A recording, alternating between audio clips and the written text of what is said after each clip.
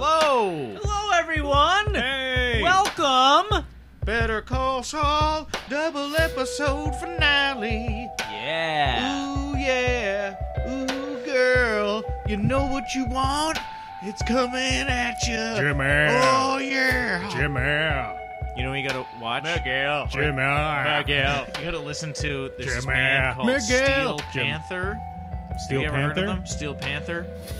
Their music group? Yeah, but it's Okay, like they yeah. do like eight crazy like '80s metal. The guy has a kind of like Van Halen-y like uh, sound. Like hair metal? yeah, but Hmm. it's all like graphic sex stuff. It's insane. The two Hmm. best songs that I've heard are "Eatin' Ain't Cheatin'," which is about a guy who can't stop eating pussy, and "Don't You Know, Girl, that sucking ain't fucking, so it's okay."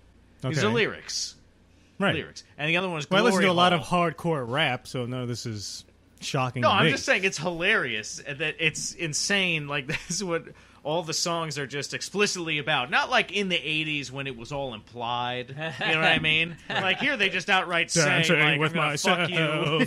Dancing And- with and It's like all about anal sex. I'm getting in no matter what. Like all this kind of stuff. Glory hole is another good one. Anyway, check it out. It's pretty hilarious. This song's about me jerking off. I never dancing knew that. with I never knew that, That's actually. That's more like a folk Never knew song. that. Dancing with It's about myself. jerking off. what? Dancing with myself. Never do it.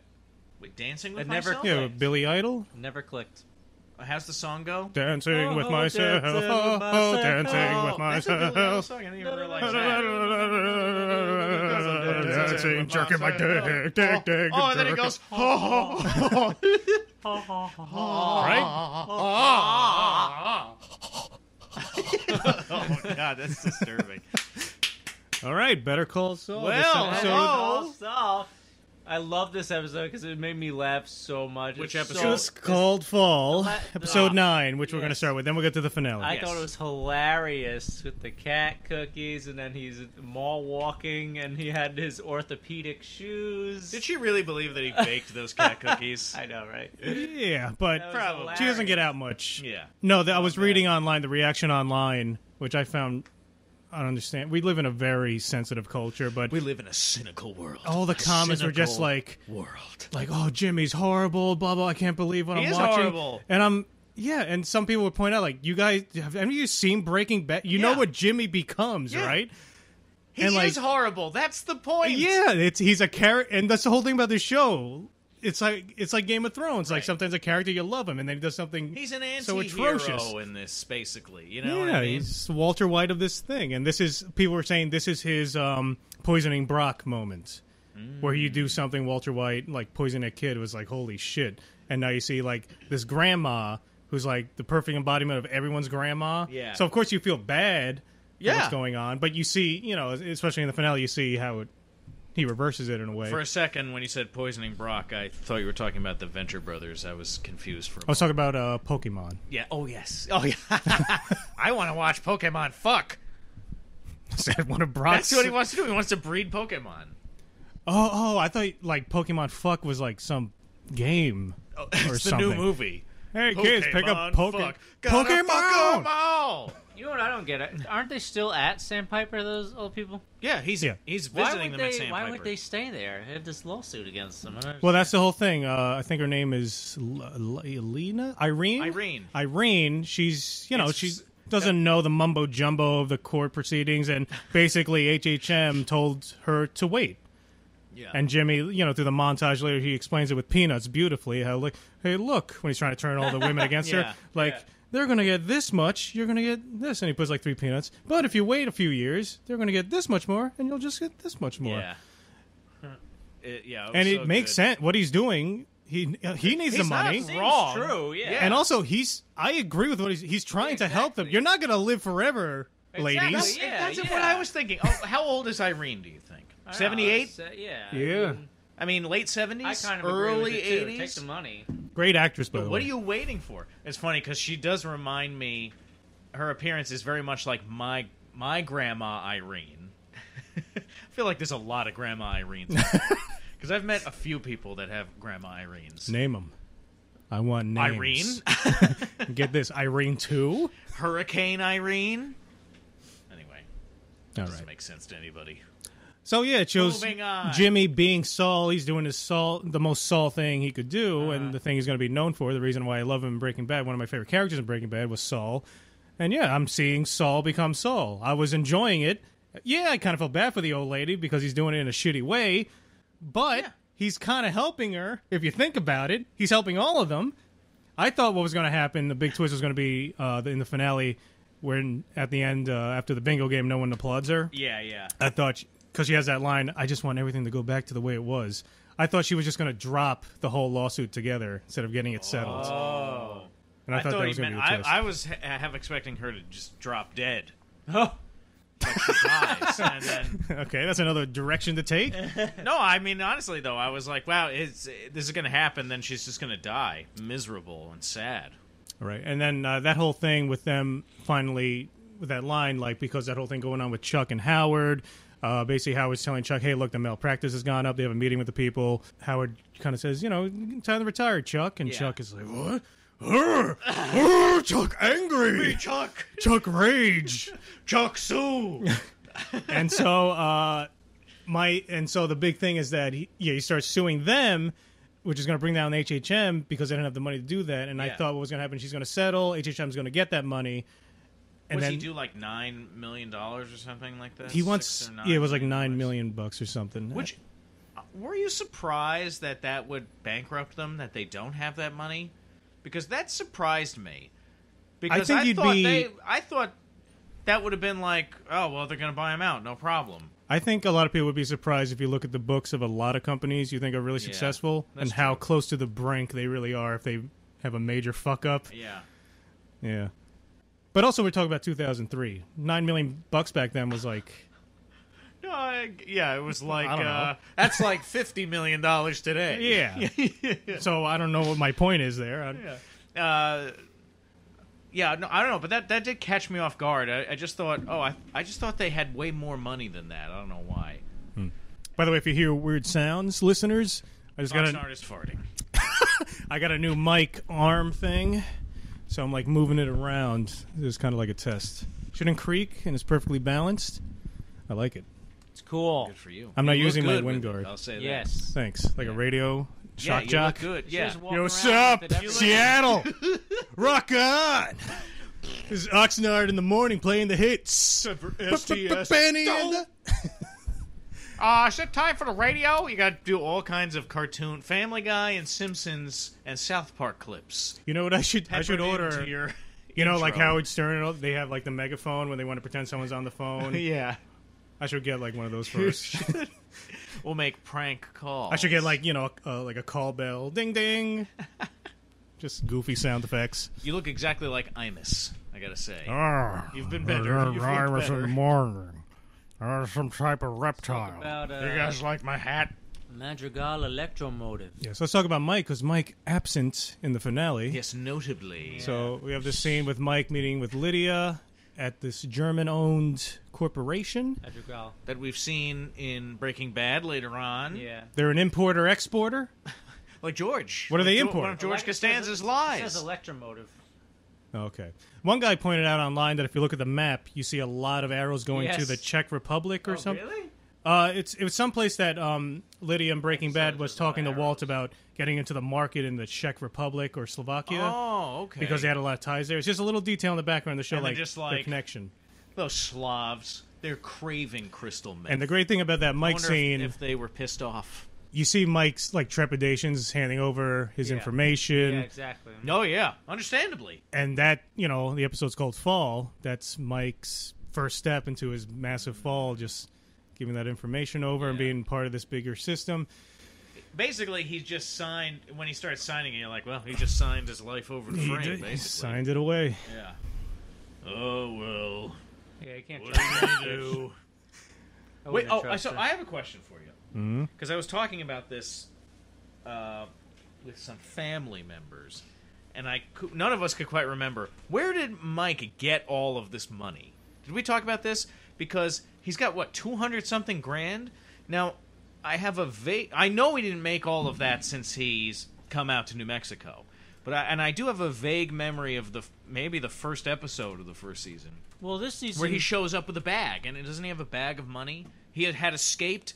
He had killed the cops that killed his son. Oh yeah, he right? did have a bag of money. and he had been injured himself, and that's how he hooks up with that vet. But didn't he have a bag of money or something? I, I'm trying to Yeah. remember Yes. how he got this fucking money. He got two hundred thousand dollars he acquired from the his first heist. What was the first heist? Oh, with the with the treasurer, you mean? With yes. Jimmy? Yes. Right? Because the guy There was a he, 'cause heist. He stole like a million dollars or a million plus dollars, right? Oh right, that yeah. treasury guy, Right. Right. Right. and th- that's where Mike's he's staking out the house, eating all those crab apples. Yeah, yeah, yeah. Wow, wow, Yeah.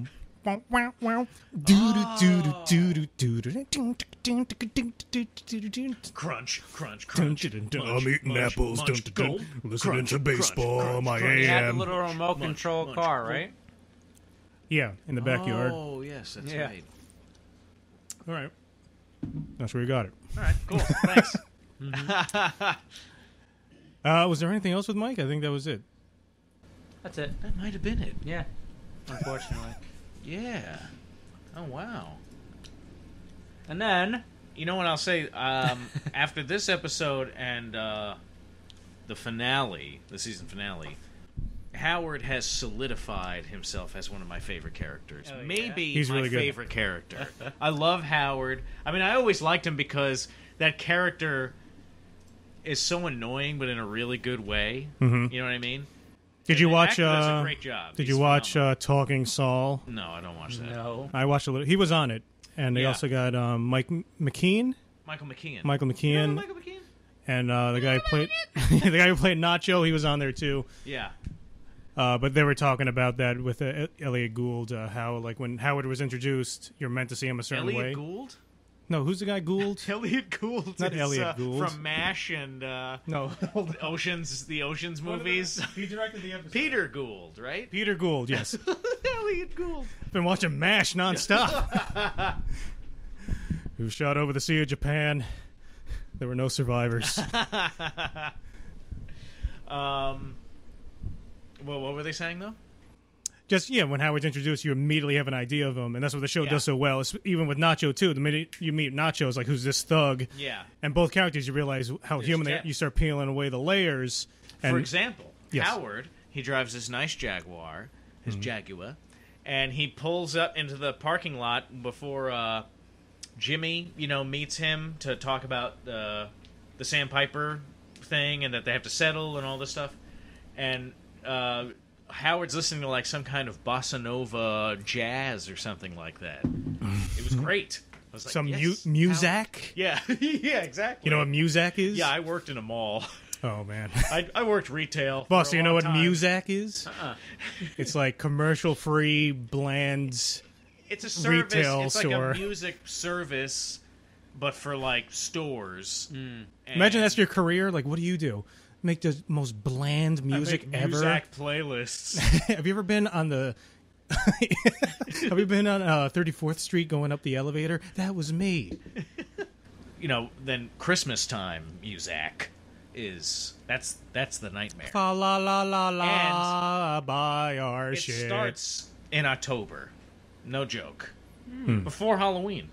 before Halloween. One year I remember it starting before Halloween. Like uh, close to Halloween, but before it. I would have complained. Like, and it was end of October it started, and I was like, "What the fuck?" Oh god, it was awful. Hmm. And it was the worst. the worst one was the Paul McCartney one. Simply heaven. a wonderful Christmas time. Copyright strike on YouTube. We've lost everything. I wrote this song while on the John. I didn't care, just wanted to get paid.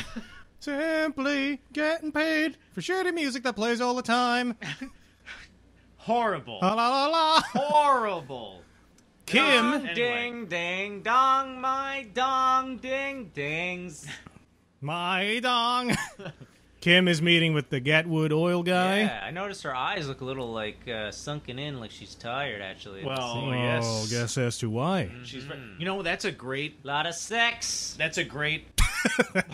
That girl looks tired. Must be all the sex she's having. Must be all Fuck yeah, dick jerk off to giving her. yeah, look at those oil thing's Oh, pumping. man, look at them yeah. pump. Nice subtle subliminal message. He's shaking her hand. He's like, This "Yep, scene was I'm gonna get you in the sack later. You were looking at my heel oil drills. Yeah, look at her earrings. They're all triangles, three points, three holes. Am I right? Whoa! Right? This is a Guys? This scene was crazy with the car, and she almost hits this thing. Oh my god! No, but boss, that's a great uh, detail that I didn't pick up on until rewatching it now. Yeah. Uh, and I'm glad you mentioned that because yeah, well, that's such that's such a minor thing, but they paid attention to that. Oh yeah. And wasn't there another episode where she kind of went into a micro sleep while driving? Oh, I don't remember. I Didn't don't that happen remember like a season ago or something, or earlier in the season? I seem to remember some part where she kind of like zoned out a little bit in the car, and they held on it for a little too long, and then it cut to something else. The one thing before, uh, the one thing before his boss mentioned where the, she almost loses the car and it drives into the the drill, the oil rig thing. Mhm. Uh, she doesn't try and go in reverse at all. She just tries to go forward. Why don't you try and back up? Won't your brake work? Oh, I guess. Oh, What? she doesn't try to go. Wouldn't oh, your I brake no no no work? no. I get. No, I I, guess I the didn't brake know what would- you're talking about. Yeah, yeah, you're right. She doesn't try Like- to go ba- backwards. when you know when your car's in the snow and you're pulling out of a snowy spot after a storm or whatever. Yeah. Kind of I go back, go forward, go back. Well, Dexter, you know, Go forward. She's a lawyer. She's a lady. Oh, she's a lawyer. What, That's the Dexter? problem. Yeah, oh, what the what's wrong fuck? with you? Oh! Whoa, No, I was trigger singing- warning. Wow. I was just singing that song. That- Misogynistic. she's a lady. Ugh. Whoa, whoa, whoa. Wow. Look, we're not going to take that on the SJW Yeah, no podcast way. here. SJW. Social See how justice I baited him warrior. into that? Is that what it is? Is yeah, that- he did isn't that bait it? me. Played him like a fiddle. Triggered. I The Dexter went down. To... actually ordered a violin uh, recently. I'm going to try and learn it. Good for you. It's really hard. Yes. I was trying to teach myself piano, and my mother in law had a piano, and I was learning on that, and then she sold it, and I was getting pretty good. you got a nice And, little cheap uh, synthesizer. yeah, I want to get a, a keyboard now. They sell pretty good cheap ones. Connects right to your PC, and then you can. Really? Yeah, they're all like USB and electronic. Look it You up. know I'm going to do that? I'll record my music, and we'll put it on the show. Put it Well, you can make, like, remixes So you can hear how great I am. You could take recordings of us and make remixes of like goofy things we say. like Gene and Buzz Burgers. yeah, fart, fart, Sample? fart, Yeah. fart, fart, Guys, let fart. me sample We'll your do a. D&D, a D&D uh, song music set, sound nice. set. Hello, I'm Dexter. D- the Dexter. Hello, I'm Oxnard. O- O- O- Oxnard. Oxnard. B- b- b- b- b- Boss. Boss. Boss. And then Sounds you go like I from don't there. need the keyboard. be you, awesome. just, you just freestyle it. Do that. All right, fine. Do an STS dubstep, would you? Sure. I can send you those clips You'll I be recorded. waiting for that beat to drop the whole time, and Mm. it's never gonna happen. F- uh, a few months ago, for whatever reason, I went to a translation website and I recorded a woman Fucking saying, uh, "You are listening to STS Enterprises in like every language." No idea if they're accurate, but Yeah, how would you know if it's right in Japanese? I don't know, but I'll make a something out of it. I'll just sprinkle them in. Just play them all at the same time, all at once. I'm gonna put them in See how this. that sounds like. All right, Oxnard, no, just throw them in randomly. Right. Oh my God, it's STS Enterprises. Estás escuchando STS Enterprises con Dexter, Oxnard y Boss. I'll put like a bit of music there. Yeah. This is gonna be like the coolest discussion of Better Call Saul Oh ever. Oh yeah, so cool. All right, so uh, Jimmy goes to Howard. Well, thing with Kim is uh, you can see she's kind of losing. She's falling. yes, Yeah. exactly. Falling asleep. Mm-hmm. Oh wow, nice one. And Jimmy You're meets welcome. up with Howard. Jimmy meets up with Howard and he's telling them, "Hey, look, you got to settle this. How much?" Because he does the calculations after talking to Irene, Yeah. and he stands to make uh, what was it, one point two million or something. He makes 1.2 million? Jimmy will make, yo, somewhere. Or they will. no, he gets- Jimmy will make somewhere Wow. somewhere close to 1.5. I thought that think was the It was some ridiculous that. amount, Yeah. yeah. God. Yeah. And Howard So- calls him out. He calls him Gollum, Lord of the Rings reference. Yes. Yeah, he does. It's Jimmy, weird. you're there like Gollum. You're like, Gollum. Now I'm over here. Now I'm over there. Gollum, Smeagol. Who am I talking to, Jimmy? I thought I thought Howard justifiably uh, shit all over Jimmy there. Oh uh, yeah. put him in his place, and I thought it was great. And Jimmy's like, God damn it, he knows that he's acting, you know, really like shitty, but at the same time, like I feel for Jimmy because he's desperate. What are you going to do? I would. I, what would I do if I was in that situation? I had like 1.5 million dollars coming my way. All that's standing in my way is that this old lady won't, you know, doesn't understand all the the stuff that's going on. She doesn't understand the language, and the lawyers that are helping her is that girl Erin, who who I hate. Uh, you know what I mean? From the old law firm. Wasn't that the one you were attracted to? No, I'm saying I'm Jimmy and I hate her. I'm Oh, saying, okay. yeah. I thought she was cute. Not so much when I saw her again, though. All right. He cooled on her. It's been too long. Another It's been too thrilling long. update from STS Enterprises. Hit it! Sie hören STS Enterprises mit Dexter, Oxnard und Boss. I thought she was kind of cute when we first saw her. Pretty sure I changed my tune though once she started to display her personality. Yeah, fuck her. Let's move on. All right. Frank and But anyway, about her. Oh yes. have a little phone conference with uh, uh, Ariando? Don Eladio's uh, buddy who speaks for him. And they want to have uh, everything go through the Chicken Man.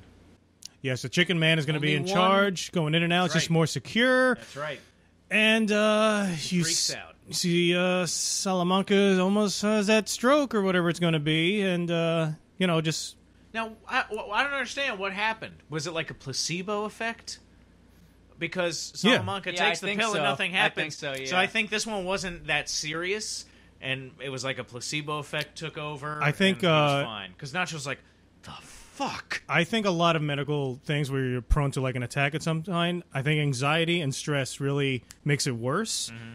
Because with asthma too, remember in Lost when uh, what's her name got asthma and she didn't have her inhaler. Shannon. Shannon. Shannon. And then Jack's like, "Look, a lot of it's anxiety, Shannon. I'm Jack. Always out of breath. all the time. But Shannon, you got to remember, just breathe. You got to get Sawyer, get those inhalers. What's that, Doc? yeah. Freckles. You think I got inhalers? I shove them all up my butt. It's my favorite area to shove things in. Excellent Sawyer. Lost. Dude. Dude, it's me, Hurley. Dude. Others. Let's throw all the characters. Boats. in. Um, sea urchin. Heroin. Claire. Bye, baby. Not Penny's boat. Oh, no. Oh, no. And that was Lost, brought to you by STS Enterprises. Don't you tell me what I never can't do. Don't you tell me what I never can't do. I'm very confused. what should I be doing, John? All right. So Jimmy goes to the mall.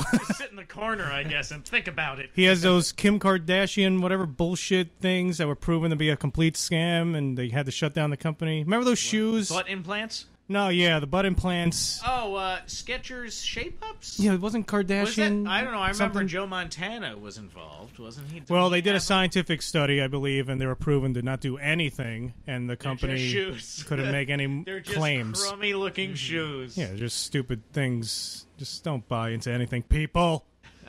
Yep, This has been Oxnard's Truth of the Week. don't believe anything.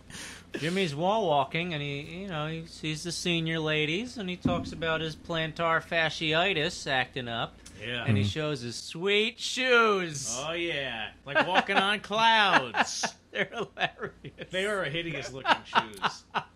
So They how look much? very uncomfortable. Yeah. Now he, he opens the trunk and he had a bunch of shoes in there. He had every size. And when I saw it, I was confused because I thought it was broke. But I guess he got money from the the twins at the guitar store, right? That's where he got yeah, some money from. I guess he didn't give it all I'm assuming to he has some money. Right.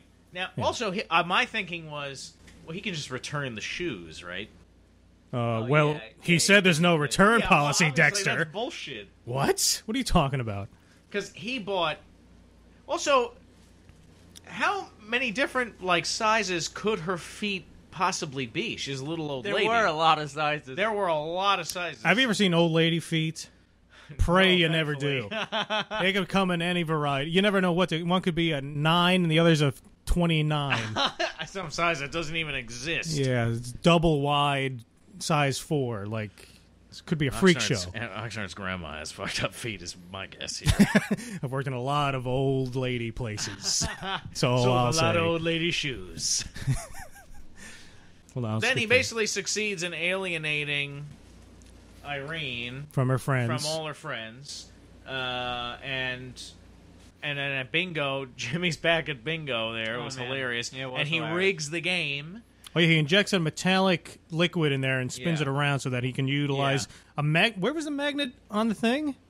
It was in the tube. Okay, So that when the ball came up, I guess it was like it got stuck to the magnet. Science. brilliantly put. Here's one of the saddest Started shots to get distracted halfway in through that sentence. TV history when Irene's walking and all her friends ignore her. It's very sad.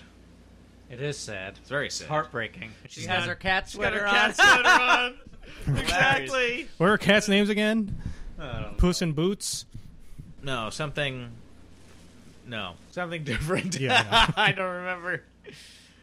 Uh, All right, then Oh, we have man. this great scene with Nacho and his father. that was uh, This has one of the, One of the best, best scenes. lines, and this just shows how great the writers are. He just says like, "I'm working for Salamanca again," yeah. and just that one little line, so simple, but immediately gives you so the much emotion. exposition. Yeah. So they, there's a history there. The father knows he's part of it. Yeah. So the you know it just immediately sets everything up perfectly. You can see It's yeah, great. and, and everything. Like you said, I'm. I mean, there's not much more I can say. You perfectly. No, but w- w- the other thing I was thinking of was, uh, you know, you can see that their relationship is in a good place. You, before he says that, you're like, oh wow, they're close. They have a loving relationship. You know, um, Yeah. all this stuff. And then And also, I he think- says that again, it's like it completely changes, and then you feel like, oh man, all that work and stuff, that headway that had been made to come back Yeah. to where they were all washed away. And they could have easily had the father like start yelling at him or or scream at him, but it's just pure disappointment. I love the guy that plays Yeah. Nacho's dad. And I think they made him drink milk on purpose, just so like, like, a little boy. he's a little boy and the father seemed like his baby. Yeah. I don't know. I think this scene was so really everything So about it was was good. Yeah, that's a great point. Because I was like, why is he drinking milk? But that makes perfect sense. And he's just like a little kid again, and his father is disappointed in him. Yeah. And I was I was waiting for the father to like kind of like ah Well, he was like, you can scream at me, do whatever you want, but you have to, you have to do this, Hmm. and that's just the way it is. And then in the finale, the next that that was another great scene oh yeah. um, Let's see. Let's wrap this up here. with the father. Yeah, All right. So back to Howard. He gets a letter. What was this letter? I don't remember. oh, was, he's being sued. That's right. Okay. He thinks that it's he thinks it, the he, uh, Howard thinks that the letter is Chuck's resignation. right. It was such a massive plot point that I yeah, forgot what it he's was. like, uh, that's great. Let's uh, find a wonderful place. We're gonna set up a party. Um, How much do you know- think they're going to spend on this party? This retirement party? Oh, I don't know, a hundred grand probably. Really? Sure. Damn. What? Holy shit. Well, they're gonna have. It's gonna be everybody there. How many people do you think are there? A thousand employees? HHM? No way. I don't think it's a, it, really. That was a big crowd. Did you see in the finale when he leaves and Chuck leaves? All the people there. There wasn't a thousand people. What, five hundred? A million. Two hundred. It was the biggest crowd that ever witnessed a Chuck retiring. the biggest one ever in history. Tremendous. Uh, but I love Howard's reaction. Is like this motherfucker. And so finally, Howard goes back, talk to Chuck about it, and he notices Chuck has put on all the lights and blah blah. blah. Everything seems to be normal. Chuck's trying to make the case like, look, nothing's wrong with me. Yeah. Trying to throw me out, Well, bitch. Chuck's lying to everybody about nothing's wrong with him, including himself, big time. Yeah. So uh, McKean, he was on um, Talking Soul. Call it Better Talk Soul. Are they this stupid? Yes, they are. Fucking rid- Better Talk Soul You know what? flows so You know, fucking he has well. a reg- Chris Hardwick has a regular show, like a late night show on there now. You know what that's called? Talking. they couldn't say like Oh the my Chris God. Hardwick show. I only watch it because some shit. I watched it because I wanted to see the actor. So, but man, uh, yeah, something about Hardwick. He just annoys me. Yeah, and I feel like we're being Should I like, cut that out? Trolling dicks now because and No, we're obviously not. he's doing something right because He he's very sucks. successful. And maybe I don't know. We he- are Is he? here Is in a he? basement on a Is he YouTube successful? channel There's a duct tape all over this microphone. hey, I gotta hold it to that Uh, yeah. camera tripod. It's not even meant for a microphone. So, I mean, there's something to be said about us, you know, and him, but at the same time, it doesn't matter. I don't I don't get it. I don't get how his popularity. yeah, and I'm sure he's a nice guy. I'm sure if I I don't. No, think I don't so. hate him as a person. I don't think so. I think he's I a just shit. don't think he's a shit. he's a shit. Um, but it just seemed like when he was talking, he, wa- he was like he was going blah, blah, blah, he was talking like how I do here. It was like too much. Like slow down. Like com- get your You know, thoughts you know together. what he does too? He does what I do all the time. There's a good conversation going, everything's real funny. Then he makes a joke and everything dies. Oh, he's one of those. Yeah, he's that's the what, missile. that's how I perceive it. That's usually He's the happens. bomber. and yeah, and everybody's kind of like, oh yeah, Yeah, yeah, you're yeah, the host yeah, type of oh, guy. Yeah, uh, good. I don't know. That's that's always the impression that I got. That's always at least how it feels to me. Did you ever watch At Midnight? I can't watch that show. Uh, not no. I wanted to start watching that that stand up show that Showtime show's doing. It's about stand up comedy in the 70s or oh, eighties. Oh 80s. yeah. But I've heard bad things, like it was trying too hard or something. I, I thought that would be a really good premise, like stand up comedy. Anyway, McKean was on Talking Saul, and he was saying how Chuck, his take on Chuck is that he's just so unaware of himself, mm. and that's how he can easily just lose his mind, and because he's not a, he's too. He explained it more eloquently than I could, but he had a good take on it. It was funny because you can tell he was on a satellite feed, but he was sitting in his bathroom. it was fun. And then he was making a joke like, "Oh, I need more paper in here." And so, He's hilarious. yeah, he's a funny guy. Oh man. Every time I, I'll, I find that uh, He got a full beer too. Really? Yeah. Oh, I gotta check that out. I I've basically found uh, after watching Chuck heavy episodes of Saul, I just want, I want to watch Spinal Tap Hmm. or uh, like Best in Show or A Mighty Wind or something. Best in Show is great. I watched it again He's so good uh, in that. a few weeks ago. I watched it again. It was Oh, on. that's a fantastic yeah. one. Yeah. All right, let's see. I I think think you this. just go to the end 'cause we. Well, the end is the big, big finish, which is another testament to the editing of this show. All right, so Irene gets sad because no one cheered her bingo. Word's gone around. Jimmy says his line. He says it perfectly because he's not supposed to give legal counsel. He just says like, "Do what's in your heart." Yeah. Wink. All right, so the last scene we see Kim, you know, she's getting all the work papers together. Basically, her case is going to be what was it going to be like? I'm going to give you a percentage of Oh, the no. oil so that They're making a deal with these other companies. Um, With the government. I basically, no, I thought It's it like another the whole thing it's is another he's gonna get state. taxed. The whole No. thing is he's going to get taxed. That's the thing. I think they're Don't making. wag your finger at me. I think the other companies were saying that he that he took their oil, and at least this is what I got. well, the pocket of oil goes They- underneath. Right, they're it's saying, across state lines. That's I know. That's Yeah. what I'm saying. The other companies are saying that, that he took their oil, but instead of him actually taking oil from another state, they're gonna say he's gonna give him like a uh, on the barrel. Percentage on the them a- Price on the barrel. right, so that I, I thought so that It's they the dropped it. government, though. It's the government Oh, because it's crossing state lines, and it's a tax issue that they were talking about. So instead of like, it would be, uh, I thought it was a meeting with other companies. I don't know. I'm pretty sure that the government was involved. It's not it might important. Have been both. It's not that important. The point No, is no, like no, we're gonna Kim. settle this. we could just rewatch it, but right, no. uh, Kim, she's putting together all these binders because a lot of people, representatives, are going to be showing up. She needs to make this presentation. She's gotten, I think, in the finale, she says like in the past week, she's gotten like six weeks. I mean, six hours of sleep. six weeks of sleep. Six weeks of The most boring movie ever made, Rested. starring Kim from that show you watched, I've been in or did you? For six weeks. Um, and so she's going crazy. Francesca, that's her name. Francesca. Francesca, she's helping her out. Jimmy shows up with the Francexa. Fran- right? Oh yeah, it was a little tequila. yeah. That's what a lot of people were saying after she had the tequila. There was like a pause there, and they thought they were going to set up like they did it They just lunge at each other. after a I sip thought, of I thought it tequila. was gonna happen too, but nothing happened. Um, yeah, so Jimmy has that bottle of tequila, the same brand that uh, Gus Fring brings to Mexico and Breaking Bad to poison everybody. Is that right? Yeah, and it's also. I was trying to figure. I was because I saw the name. I was like, "This is a weird tequila. What's the significance behind it?" And I thought it was something that was this what Kim and Saul were drinking at When the they- club that one time when they scammed that yeah, guy. When they scammed the guy. Okay, but I didn't realize the. Uh, oh wow, that's interesting. The Fring poisoning. well. The second I saw that, I think it's like in American Beauty. Every time you see a red door or something red, something major is about to happen. Same in The Godfather when you see oranges or the Yeah, color orange. Uh, so every time I see that tequila bottle, bottle, I was like, oh god. Then they cut the Kim, and I I was like, they're going to kill Kim. and this is uh, uh, Peter Gould said, um, I think in an interview that the original idea for this it was going to end right when she crashed and just go to credits, but he thought that would be cheating the Yes. audience. Yeah. and I was like, that's so awesome of them Right. because if it was Walking Dead, Oh yeah. it's just like a massive fuck you. Then it would be five episodes not Right. knowing And what's going it's like, on. well, or then, uh, yeah, and then if they did die or something, or uh, it would be five episodes of Daryl brooding Yeah. about something unrelated. Uh huh. Be flashback episodes. Yeah. Oh. Yeah, so yeah, they did this- exactly. hold on, I wanted to see that cut again. Let's see what happened. Let's do two episodes of what happened 15 years before. And you can see this is so they held it so perfectly in the Yeah. editing, It's so jarring. and it's right. She's tilting her head. She's just zoning out.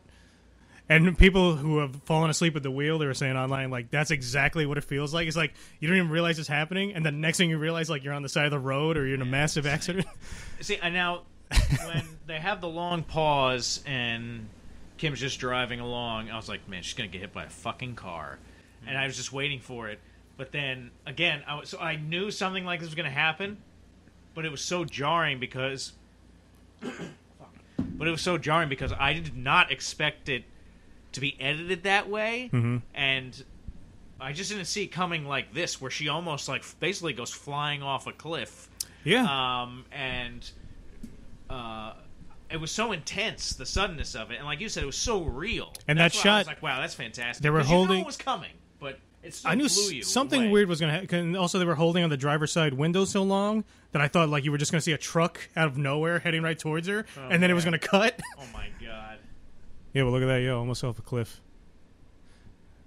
In the finale, I was like, because you know, so Kim's in the hospital. Jimmy shows up, um, and uh, their relationship had been kind of like strained. I think I always felt like they seemed kind of distant from each other. Their And I think that relationship- the money thing, was taking a toll. I mean, that's why, and they talk about it, and Jimmy feels bad about it because she was working herself. It's one of the most uh, like it's one of the most unique relationships I think I've ever seen on a show where it's like you can tell they like each other. They're not They lovers. are romantic. They're romantic. It's almost like friends with benefits, but that's where it stops. But they help each other. But they care about each and other. there's not that many benefits. Like you don't see them like No, they're not smooching. They're not like Friends with Benefits is like a romantic comedy thing. It's not even like that. It's no, You yeah, know, they just bang every night. they they might. That's the thing. They might, but it might just be like a clinical thing. Like, hey, we both, you know, it's the end of the day. Just get this, you know, let's get this out of our systems. And you know then, what it is? They have like a nice kind of normal relationship. it's a very television. enviable no, relationship, it isn't is. it? it is. No, but I mean, She's really good like- at her job. She's making in- good money. in TV shows. You know, like uh, it's like when do they ever get anything done? Because they all they do is spend every like waking moment with one another. They're constantly thinking about one another. In TV shows and stuff, they go so over the top with um, with romances sometimes. Um, Yeah. and it becomes so intense. Like they didn't do it. Theirs just seems like a a normal it seems relationship. to it seems so real that you hardly even think about it. It's Exactly. just like, yeah, you know. Um, and uh, one of the things that I thought was like, I felt bad for Jimmy, but I was like, it, it was like really, really sweet. Is he's out there in like the pitch dark, picking up all the papers, yeah, after accident. and picking up all the work. And I was like, oh man, that was uh, I don't know, it was, it was kind of a touching moment to me. Well, let, now let's talk about the finale. It's called Lantern. Did you know that this was that this kid I was did. Chuck speaking immediately? Because I could tell right away. I was didn't. like, Yes, this kid fucking yeah, nailed he it. sounds like him, exactly, and he looks like him. I was like, they either 80 yard something, I or this know. kid is just this kid did a perfect job. Like a good person. I thought it was the father, but as it got closer, and even the, his face looks like yeah, he him. looks Yeah. like him. like I wonder if they put an effect on him or something. I think maybe they did. because that looks like a young, Maybe it's his son. He looks too much like him. maybe. I don't know. In Look, and did you notice this? It's a falling mug, just like at the end of the episode, a falling gas lantern. Whoa! See that? Do you see that? My God! Vince Gilligan, man. we could never make anything good. sure, you could. You just have to slave over it Except- and do every detail and and go over oh, everything. oh, man. and you follow you surround yourself with a team of like really experienced, smart people. What I found interesting too was I was like, oh, that's how they put a cast on. Yeah. I never thought about it. Really, you never made like a paper mache thing Cast? in like middle school or I grade did, school? but I don't remember. And never you- on somebody's arm. You take like strips, you dip it in like Elmer's Yeah. glue. Or, I'm I sure don't they're know not using why, I Elmer's just glue, Never but thought about like, oh yeah, that's actually what it is. yeah, you make like your frame out of I cardboard. don't like to talk about it anymore. That's right. That's right. I was Wah, there. wah, wah, wah, wah, wah. Oh man, that's so mysterious. Tonight on the Twilight Zone, boss Paper mache, yeah, buddy. Paper mache. A simple class of arts and crafts. Little does he know that when the clock strikes three, he'll be entering the Twilight The Zone. Twilight. Dun, dun, dun, dun, dun, dun. He just wanted to take a life drawing class. The scary door. this character. All right, so what do you want to talk about? Finale. Talk Well, about I just anything. mentioned that one part where he's picking up. That was the very beginning of the episode, basically, and then moving on. Um, no Mike. No, Mike. The lawsuit. Oh, I All right. loved the shots in the uh, conference room. Every where shot in here. is uh, suing. uh, I just thought not every all shot. the shots. The uh, Remind me of Kubrick, Yes, especially when exactly when right. Chuck is in his manner destroying it. I got a lot of Kubrick, especially with the music yes, and the madness. that scene was so intense for me. I was like, oh my god, it was hard to watch because you're watching this this really really smart guy and uh, I, just have a complete meltdown, Mm-hmm. and and that was the thing because you could see he's even the one doctor. Uh, in a previous episode, you know, because in, in the one before this one, he's saying, "Oh, see, look how be- much better I am," and he's holding the light, and Howard goes to the house, and he's cooking, and he's got the lights on, and then you see he's like, when Howard leaves, he's like, ah, and he turns the light off, and he's like, Huh, like shaking it out, and he does his weird mantra thing, you know, to help distract him, where he's like, you know, a brown table, uh, you know what I mean, uh, gold watch, uh, and he starts focusing, trying to focus on something yeah, else Yeah, you know that's but it can't. He's pushing himself too hard, and even the doctor says Yeah. that to him in the one episode. and you know it's getting bad when even in the comfort of his own house in his own bed, he has to start doing the exercises to like Yeah, That- that's he has the really log. bad. He keeps such a meticulous journal, and then before he starts to have that meltdown, he basically says like "fuck it," and he doesn't write anymore. And Yeah. he, then And he that all down and he comes- switches everything off. and that all comes after that uh, oh my crazy God, scene insane scene where with Jimmy. it started with like Jimmy in the car and he's just out there he's trying to build up I don't know, he's just trying to make sense like should I go in and say hi to Chuck? He just wants to make sure Chuck is alive. yeah, And he is, and he lets Jimmy in proof of life. and they have this long talk. Everything's on too. And Jimmy has always said to him like Yeah, that's before the. was it yeah, season exactly. one or two?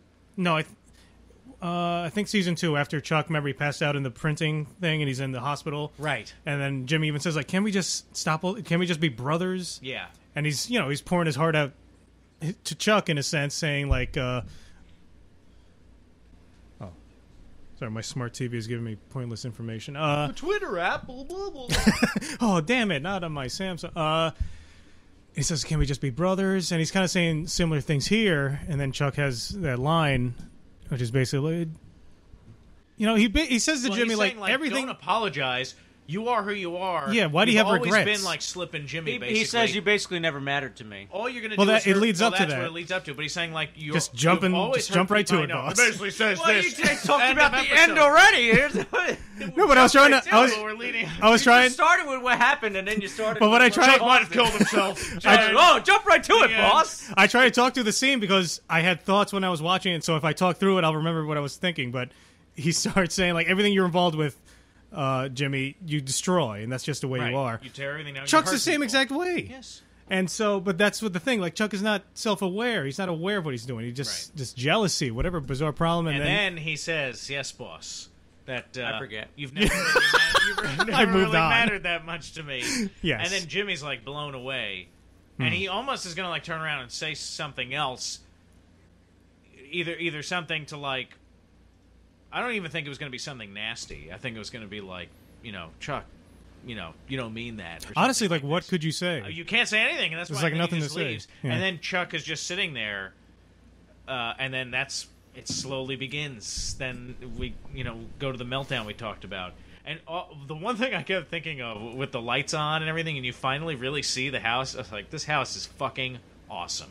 It's a beautiful house. It's a beautiful house. Yeah, Peter Gould was saying like because on the set, like uh, McKean was he he didn't have a stunt double. He was doing it over and over, bashing the, and so the art uh, art department had to keep bringing in. They had like twenty versions of like walls, Oh and every God. take, and they were there for like ten hours for a day. Oh my god. And he was saying Peter Gould was saying as he was directing him because McKean like gets into the character a lot. So he's just like Chuck the whole time, and Yeah. he was like, he said he was like scared of him on the set Oh because he, he really thought he was like going nuts. Oh my god. Yeah. Well, he, I mean, he was amazing. I'm surprised that he hasn't gotten any kind of cred for anything in ter- like a nomination or something like I that. hope because this he does. absolutely has deserved one from the beginning. Yeah. He's fantastic, We need to talk about this scene in the boardroom. and we will. I skipped over it. We can skip over it. It's right totally here. skipped over. No, we didn't. We Here, well, talked about. We're it. jumping around though. All right, so preceding. You're preceding. the one that was skipping ahead, and now you don't No, want to you skip guys ahead. completely. It's, you mentioned the shots. whole point You of this- mentioned in the shots in the boardroom, and then you went right to the end when he has a ma- breakdown. no, because we were talking about the Kubrick shots and how, the, especially in the mansion. And then but it now led we to a can get back. Kubrickian kind of thing that Oxnard wanted to bring up with the house. Boardroom. Yes, boss. What would you like to Yeah, bring you up talk about, the about board? it then. oh, you're too busy talking about the show. I'm I'm I'm the the wrangler. I'm not gonna do that. what have you Oh, now have wrangled? nothing- what have you You're wrangled? wrangling my balls right now. Start talking. Yeah, All what right. do you want to say? Well, he's uh, he puts Wrong. his hand out.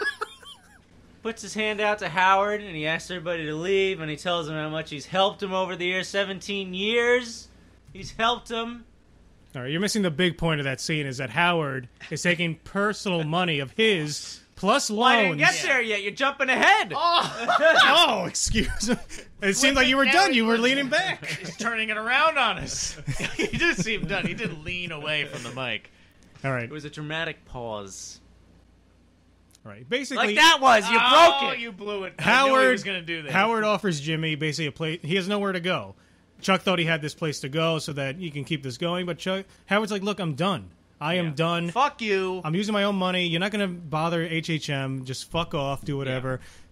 He took out loans and he gave his own money. See, and I know, Yes. you know what? I think Howard too. He was like, you know what? This is gonna, this is gonna eat Chuck up too. That I did this. Yeah, and I thought a similar thing was going to happen with Kim. I thought like both of the uh, McGill brothers were going to push away these two people who are like their go-to people, Jimmy with Kim and Chuck with Howard.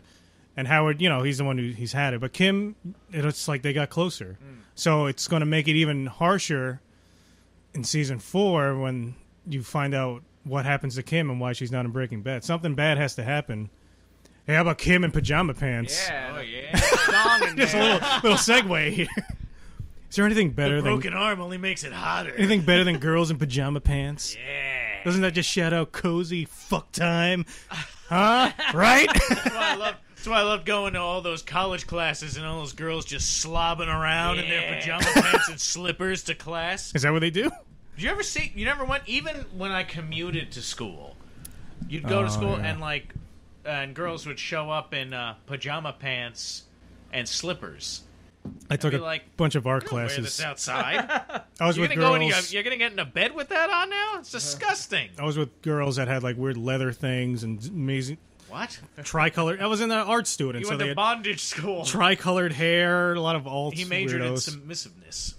Girls that didn't shower or shave. It's a wild scene, man. Very bohemian. Painting class, man. oh man, community college in Indiana. Yeah, I remember that one of the, it was weird. One new drawing classes, like one of the s- female students in the class She said- posed. Yeah, like it was nothing. I was just this is weird. I have something to She was bring doing up. it. Good, well, now wait. Well, all right. Now let's get superficial. Uh, how attractive was she? uh, I mean, it's, it Not was attractive at all. there's Or no. s- he's so uncomfortable because he had a boner the whole time. Here's the thing about His hand is shaking With as he's new drawing drawing- the nipples. There was no sexual aspect to nude drawing, Oh no, no, and it was very. no! But there is a shock when the girl you're sitting next to decides I'm going to do this. You know what I mean? Eh, no, it, it happened, Oh, and then you just there re- would be even in a, even in a life drawing class. and then you re- just got normal. Art art school is weird. yeah, but but our was, programs answer my school. question. Was she What was like a big gross fat body, or was she disgusting? Uh, She you know, wasn't- Was she nice looking? She wasn't too nice into big, looking. gross, she wasn't like bodies. Grotesque, like run away. Look, It wasn't like uh, it wasn't like what's that fat character from uh, Austin Powers? yeah, it was fat bastard, a female fat, bastard. Yeah, there you go. Look, I don't want to shame anybody. I have a comment about. No, I uh, don't. I'm sorry. I don't want to be mean. But If you're Kim in pajama pants. fat bodies, then all more power to you. when Saul uh, makes her breakfast, I, I always look into the food details in TV and movies. What's on the I'm toast? interested in that. I, Nothing. If I have one Dry hand, toast? If I have one hand to eat, I'm not cutting my sausage with a fork. I'm just using my hand, man. I thought was Fuck eggs. Utensils. No, she does eat a sausage first. Also, I'm just you know what I piling do? those eggs onto that bread, putting a sausage on it, With- using hmm. my hands, crumpling it up, stuffing it in my mouth. with breakfast sausages. so you'd like be good, that- boss, because you're left-handed. Oh, see, that's why it's so easy. Does that matter? Because he's a freak. No, yeah, if you're if you're left-handed, you can use your left hand better. Hello? Oh, because she broke her She right broke her arm. I, right get it. arm. I was just thinking about somebody with one arm broken. I can use my left hand so easily. I don't understand what the big deal is. Um, well, with breakfast sausages, you don't even have to cut them. Just Stick it stick it on with your your fork, hand. or just stick on your fork and just eat it. Like take bites off of it from there. Maybe she didn't want to do the phallic. Right? Maybe they did Well, it. Maybe they didn't take like that. How is she Yeah. going to eat it? Let's go. Oh, to the- Jimmy- No, no, oh. don't pick up oh. that Jimmy, whole sausage. Oh, Jimmy, your sausage is Do so not- hot, so no. hot. Cut. I'm gonna put one Don't in my pick mouth up and the for- for some sausage reason- as a whole and put it in your mouth. That's phallic. They're gonna they're gonna be It's me, Elliot thrown Gould. off the entire point of this whole scene. You will. yeah, that's right. Mash it it with in a your fork. mouth. I'm going to hold one sausage while putting the other in my mouth. Would have been too distracting if she did that. Yes, it would have. All right. All right. Kim is an excellent now that we've character. offended- No Now that disrespect. we've offended many people. Who's the actress who plays Kim? Including me. Oh, Rhea Seehorn or something? Yeah, Rhea Rhea Seehorn, excellent character. Should also Well, that's win the something. person. Props. She's the real person. She's, She's a not the character. character. Well, she's a character. Yeah, she's, a real. Hey. She's a real card. Life's a stage. Life's you a are stage. card. Life's a stage. That's right. Life's a stage. That's right. All right. So So, the Salamanca crew goes to the upholstery upholstery uh, shop to see Ooh, uh, they got- Nacho's They daddy, got econdisos big, there. big Nacho Supreme. Take it away, Oxnard. well, Salamanca looks setup. Salamanca looks excited in a rare, Yeah. happy mood. He's talking to people. He's smiling. wants to Donde meet- está tu papa? Yeah, he wants to meet Poppy. I think he wants to make a nice, uh, you know, friend of a like age. He's thinking he's going to hit it off with this Yeah. uh, Varga Varga dad. Why don't we go outside and whistle at cute girls? Ah, Yeah. what we do at this age. It's like the exact sound he makes. First, too. eat your soul. Now I was waiting for um, something to hint at the ding, ding, ding a bell. Oh, I thought it would have been. I thought it would have been been awesome good. if when they walked into the shop, maybe they come through the front door There and is there a is bell there, There is a too. call bell, and you see Salamanca like hit the bell or something. I thought they could have. Yeah, there is a bell Yeah, right there's a there. bell. Ooh, it's a cool orange color. Yeah. I want that bell. Oh man, let's get it. Man, I love the actor that plays uh, Nacho's dad. That guy gives like such an understated performance. It's perfect. He's really good. Yeah. yeah, he's fucking excellent. The tertiary characters on the show are like better than primary Than the characters non-tertiary on other shows.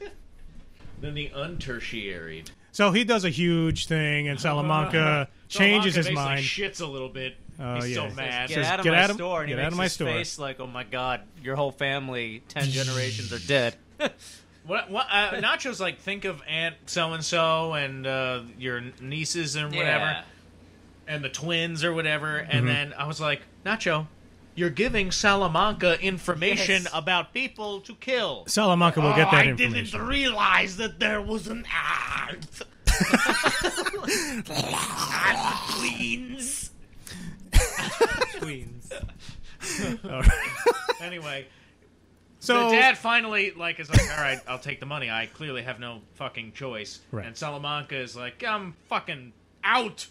I'm out of here. I'm leaving. Seacrest. Salamanca out. and uh, I spit on the microphone. And uh, and then he's basically Nacho's like, "Don't worry, he'll come around. You know, I promise he's gonna come around. I'll handle him." Blah blah blah blah. blah. And Salamanca's Don't like, "I don't trust him." Yeah, so he's fucked. Yeah, He's fucked. And Nacho knows it, and that's why cut to Nacho is gonna sneak up on Salamanca Yeah. and fucking shoot him. in So the apparently- back of a noodle. The he- other henchman had set out like a call to the other henchman Yeah, I guess that I guess called Nacho, just didn't get. Or he might have just been ignoring his phone It too, was just because lucky he's so that he was zoned there. in. Yeah.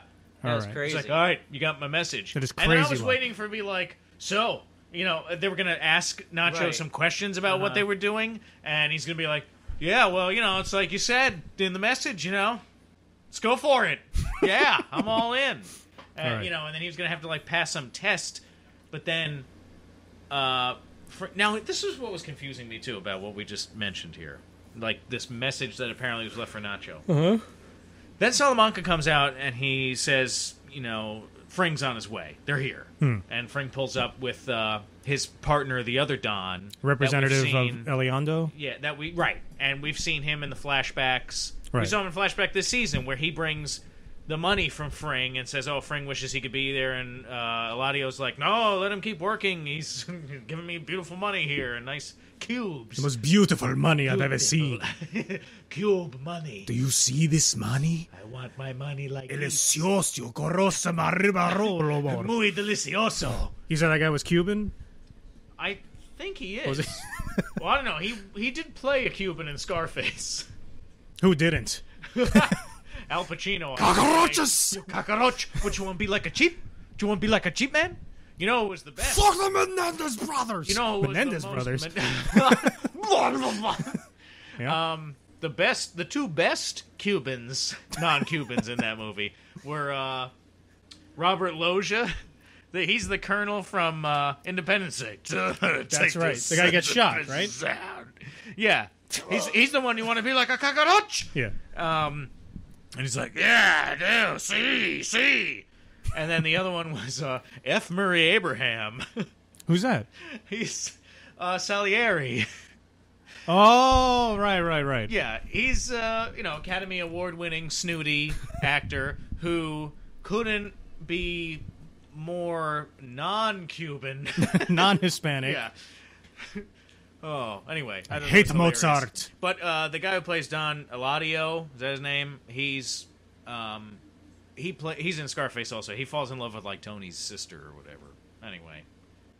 I don't know how we Wait, that's the guy? The young guy? yeah, the young guy. Yeah. That's him. Yeah, that's him. Yeah. Holy shit. Yeah. I never made that connection. Wow, here I am thinking, wow, this is another pointless Dexter yarn No. that he spun, and then uh, Because he's on this, mind. he's on this other show my mom used to watch called Something USA. It was a PBS show about a Cuban family. like a novella or something. It was like a TV comedy sitcom, but it was like catered purely to Cuban immigrants at the time. It was like Uh-huh. in the seventies, Yeah. and he was on that show. That was the first thing he did. He's like a teenager, and then after that he there did you. Scarface. That's hilarious. Wow, he gained a lot of weight. yeah, man, it's all that delicious Cuban food. That's hilarious. All right, Yeah, so wait, well, hold on, I want to look it up because I want to confirm it now. Because now I just got No, it looks like him when I'm looking It's at got to him. be him. Um, all right, keep going. I gotta pee. all right, hold on. I'm just looking this up real quick. That's him. Yep, Manny. Manny Rivera. Look at Town USA or look up his earliest work. That's what it is. All right. Seems young for a Don. He's 60. He just looks fantastic. That's all. That's He's not problem. young at all. He's just incredible looking for his age. He's been in a lot of stuff. He's been around for a long time. One day at a time, or no? It was a PBS something. Que Pasa USA. Yeah, that's it. He was Rocky Echeverria. Oh yeah, man, he's so young looking in this. In the Pena household, language barriers arise, cultures clash, and hilarity ensues. Que pasa USA? Yeah. Hey, it's got a high rating on uh, IMDb. Yeah, because it was- nine out of ten. My mom watched that when she was a kid. It, I, I'm telling you, it just catered to Cubans who just like recently got here. just like Trump just did. We will, we will crush Cuba. Is that what he said? No, I can't follow politics, like, man. It, it makes me go insane. Completely undoing all the Obama stuff he was saying. He's going to undo all that, uh, what whatever Obama did with Cuba, and then, uh, but he gave like a 50 minute speech all about the horrors of uh, Cuban authoritarianism, But then, uh, you know, North Korea's like, yeah, I'd meet with, uh, I'd meet with Kim Jong Un during the campaign. He said that, and then uh, he also like congratulated um, the president of Turkey, who is another guy who is like consolidating power and uh, election kind of, you know, questionable election practices. And then his all his, his goons just started beating women and men that were protesting, American citizens that were protesting. That's good. Yeah, it's graphic. I mean, it's brutal. Like when you Is see the world videos. over yet? This one guy's just, I'm like, just waiting for the- kicking- Almost. It's getting this there. Woman half We're to almost death. done, people. Can you guys just text me, hey, Oxnard, the world? It's over. hey, hey, Oxnard, that's it. yeah, All right. I just want to be aware. I'm still going to be, you know, editing videos and stuff. I just want to know when it happens. I'll just I'll just send you a text that just says done and a thumbs up emoji, Okay. and that's how you know. I mean, to the is he getting man. impeached soon? Oh, is that He's happening soon? Be. He's gotta. I don't know what's It's gotta going. be. Every time I get an alert on my Definitely. phone, I'm like, "This is it." See, I, I took off Bre- all. breaking news. I'm like, "What is it?" I don't have Twitter on my phone anymore. I don't have uh, any news things on my phones. It's just like uh, messaging and just little goofy apps because I can't have it Once a week, I'll too get available. it. I can't Oh, I have it get- too available. I get Yeah. um It stresses me out. through my work. I get free It's subscriptions to the New York ridiculous. Times and the Washington Post, and so I uh, I get to read those. Like th- I have online subscriptions, so then I get updates on my phone, Hmm. and then like Politico and all kinds of stuff. The New Yorker. I got a free subscription to the New Yorker for a while. That was good. What was- Too much news, man. One. No. no, man, you gotta read it all. Do you look at even at least the good news section? There is no good news section, man. There is on Wake. MSN.com. and there's a website. That's It's all news. it's all good news. Great. Like puppies were His name is adopted. Nutty Yeah. the squirrel. Yeah, like a, a cat was saved by doing a surgery for free. Yeah. Guy saw. Cat did the surgery for free. Yeah, I'm telling it's all. It's not real news, but it's happy news. what were we talking about before we started getting into that? The uh, Don Eladio. Eladio- Anyway, oh, uh, so Fring and the other guy shows up, and um, they're basically like, "Look, Salamanca, it's nothing personal. This is how the Don wants it, and that's just how it's got to be. It's the one path. It's better for everybody. It's more efficient. It's safer. Raises less eyebrows. It, Mm-hmm. Don't take it personally." And he just starts flipping out. Yeah. Salamanca blood. Salamanca this. Oh, but, Salamanca uh, that. Salamanca taco. Salamanca! And uh and then he has a conniption fit there. Yep. And um Oh. And and then that's when the the pills don't work. All right, Right. and he collapses. Mi So now there- there's Well, the two pills things I haven't wanna been ask.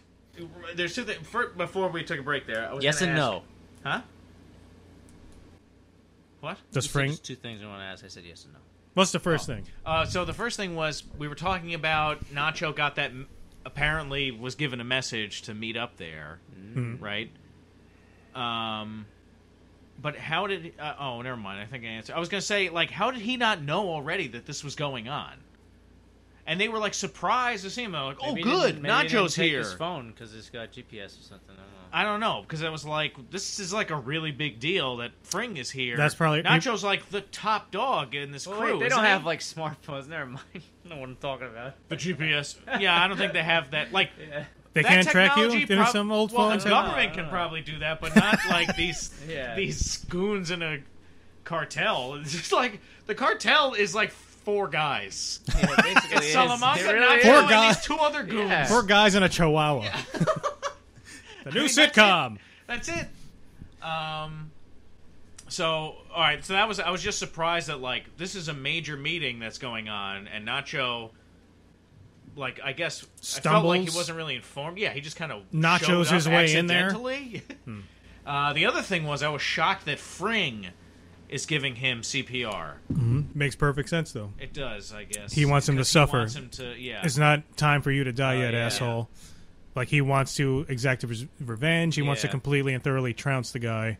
He would have done it if not for that Bryan Cranston dude He could have pretended to be giving him CPR, but he's actually just choking him.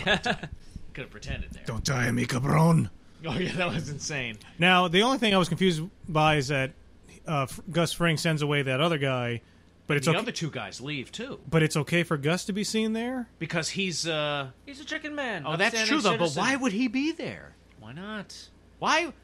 No Is one's he- questioning why any of them are there. Well, I guess it's Salamanca. It's like a place of business, I guess technically. Like Yeah. they run it, so it's like, oh yeah. I mean, we know we're we're pals. So- uh, he owns the place. We were here hanging out. He started to have this problem. And they're meeting at the taco place. I think they were meeting somewhere else. I thought I, warehouse? I thought Nacho was going to try and shoot him from like the cover of like a basically like a chassis, a car chassis. Well, he was Not trying like a to he's complete trying to gauge the shot. He wants to make sure the shot is quick, and then he can get the hell out of there. Further away he can do it, the better. Yeah, Should have done what Mike does: just bring a sniper rifle, hit him from like That was a great. kilometer away. Um, yeah. he got to pick up the pills. Oh man, That, Oh, yeah. see, now Wrapped that up worked out, 'cause perfectly. We were thinking like, how the fuck is he going to pull that off? Lucky. Spot of luck. and he, I guess, he had the other pills ready to go Yeah. to hand over. That was another spot of luck. yeah, luck. definitely. Oh, but man. what's not a spot of luck is the look that Gus Fring gives him, Yeah, because He Gus knows that. uh Did this motherfucker just try and take away my chance of revenge against Salamanca? Yeah, but how could he be mad at him because he doesn't know the other reasons? Do you think Gus is really like that? Well- seems more of like an Well, he's irrational insane. thing, though. But Gus this is ties insane. I into- think- You think I Gus think is that pi- insane? oh yeah, that pisses him off. Oh, I think No, Gus, Gus is isn't- completely sane. Gus is No way. yeah, he's sane. He's just he's just uh, a, he's a special kind of of sinister because he's not Yes. he's not a, like over the top like you guys see Breaking Bad? Tuco Yeah, but- No, it's insane. yes, No, but- but, Tuco's Hold on. insane. that clip I showed you, remember uh, two weeks ago, when Jimmy's saying like, did Ignacio send you? Nacho No, no, he said uh, he said it wasn't me, it was Ignacio. Ignacio, implying 'cause he Ignacio is still alive in Breaking Bad. Ignacio is Right. Nacho's real name, Ignacio See Varga. now, actually, but I because we talked about this, I think last time. Mm-hmm. Also, you're right, but I see. I think he could be dead still because in all I didn't did it was Ignacio, but Ignacio's already dead. Maybe I'm thinking He's- Gus. it could go either way to me. I think Gus is going to try and get Nacho involved with his operation and maybe just send him away See, somewhere. I think I always thought, leading up to that finale, that, uh, and this was just all in my own head here, that uh, Nacho and Fring had a kind of like knowing, nod kind of relationship, like where Nacho's like, "Sorry, you know, this guy's nuts." You know what I mean? I, like I bet there was a Gus kind can of pick like, up on that. like Gus and Frank because they they do Nacho would look at him a certain way, not in the way that the same way that that weird ponytail guy looks. You know what I mean? Where he's like trying to look all badass. Nacho has like sympathetic eyes. He has very uh, telling eyes. You in love with Nacho? Oh, sure. Oh, the actor. It was funny. Guess where that actor's so from? cool. M- Mexico. He was born in Quebec. What? yeah, That's fantastic. it's hilarious. Wait, did he live there at all? Did he grow up there at all? I think he grew up in Quebec and moved. This is like his first. So he speaks. He must speak that version of French. I think so. I think this is like his first role, I believe, or he was in other little stuff, but this is his first like major thing. And he was telling a story how Vince Gilligan, after he did his um, what's it called when you try out audition, Vince Gilligan. Oh, what's So, it called? when you try out. uh, Vince Gilligan put his hand on his back as he was leaving, and he. just rubbed it gently. No, he just put his hand on his back, but he didn't Don't say go. anything. Yeah. And so he was like, I don't know if that meant like I choose you or like, oh, I wish you did better. And he was thinking about that for months, and then they yeah. called oh him my back. God, that's hilarious. Wait, hold on. I have to look this up. Yeah, look him up. And then we got to talk about Blockbuster. Look at this. The description is really funny. Uh, Michael Mondo, Mando, Mondo stars in the on the AMC mega hit Better Call Saul. He plays Nacho Varga, a highly intelligent and multi-layered gangster who disagrees with the short-sighted methods of the Salamanca cartel. This is that was a funny. Oh, he's an Orphan Black, a show that I I want to watch. It's supposed to be really good. He started in 2013. He eh, oh 2012. Yeah, he's had roles. This is I'm probably sure. like the biggest role though. Yeah, I, I might have just said that wrong. Wrong again. As usual. Wrong again. No, no. Uh, he hasn't been in a lot of stuff. I mean, compared to the thing, he's in the new Spider-Man. I think he's awesome. That's hilarious, though. All right. So, Salamanca has a stroke. Here's a twist they could do, though. What? Just kidding. Next season, they could do a twist where he comes back feeling better than ever. Yeah, yeah, yeah. I'm as strong as an ox. They gave me pacemaker. oh man, you gotta I Got the new heart. you gotta see Silicon Valley. there's a part. There's a the guy. It's a thing that the rich people do in that show. This one guy does. He gets uh, blood transfusions from from young Aryan boys, and it keeps it's supposed to keep him like super healthy. Oh my god! It's you know what's funny is the guy who's like the Google type CEO. That's the guy who gets it. Uh, uh. Oh, that's the guy who wrote and directed Captain Fantastic. Yeah, you told me that. Yeah. Um, It blew my mind. yeah, Captain Fantastic. I If saw it. It was that uh, movie, watch it. It's incredible. I loved it. Boss, you It was like good. it? I, I stopped at the, the What? screen with it. I was like, You stopped. I was at like, the how what? good could this be? So you didn't watch it? No. Oh, I thought it was good. I mean, I, I loved it. I don't know. I was like, that was good. It's it was a, one of the better movies I've seen in quite a while. yeah, go see it This is an interesting take on. You know what it was? It was something. like it just affected me in a kind of way. You know what I mean? Where I just was like, wow, what am I doing with my life? You want to live in the woods? No, but uh, I could not survive in the woods. But at the same time, I have access to basically anything I want. And what do I do? I sit on my ass and with you fuckers What is talking going on about here? Better Call Saul. See you later. I'm off to the Pacific Northwest to probably get mauled by a grizzly bear. it's in the papers. Local guy Uh, no, Dexter. I, you know, it's like one of those things that make makes you like self-evaluate a little bit, and it kind of makes you appreciate the things that you do have. You're, you know, whatever. This is getting depressing. yeah, it was a good movie. Um, moving on. All right, so Kim. Cut all that out. Kim is, you know, she's resting up and she's going to start working. Francesca's there. Uh, she's going to go start getting back into Mesa Verde and uh, her other operations as usual. But then she's like, fuck it. Fuck it, man. Blockbuster, Blockbuster baby. party. And they go nuts. Um, Let's go nuts. I'm gonna watch fucking To Kill a Mockingbird. I'm sure. The. I think the inventor watch. He's in Scotland. Uh, what's the equivalent of a blockbuster over there in the UK, Scotland? Yeah, what's the Do you have equivalent- What's Blockbusters? the equivalent of the? Uh, Do you know what a blockbuster What's is? Scotland's version of the uh, video store that went out of business and doesn't exist anymore? Now I worked at a West Coast Video. You remember those? Mm-hmm, you've They told took your over for. Super Video. Do you remember those? Ach, movies. This is called. Ball bag films. Get your arse in here. Watch some films. Movies. They ban Braveheart. The accent's terrible. The fuck was Mel Gibson thinking? They cannot take our movies. Mel Gibson. That take that's a cultural appropriation. I have to grimace horribly to do that accent.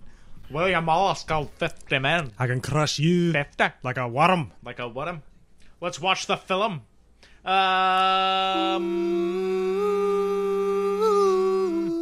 Um, great score. Say what you want about Mel Gibson, but damn it, the man knows story structure. I love Braveheart. Sorry, the inventor. Sorry, Yeah, but you could. anyone who doesn't Uh, like it. I guess I don't watch it. I don't expect it to be historically accurate. I don't think. What are you defending? no one's. No I love one's. a Braveheart. Yeah, no, but no one's. attacking me. No one has Always said defending anything. himself. Oh. Man, calm down, man. No one Look, said anything. I anything. live in fear, constant fear of being judged. I'm a very insecure person, guys. I like cheese. Now, hold on. Wait, don't take that the wrong no, there are a lot of people. How could I take that the wrong way? Um, Is this free range cheese? Uh, what was I going to Oh, I was going to say uh, you can love the arts. Doesn't mean you have to love the artist.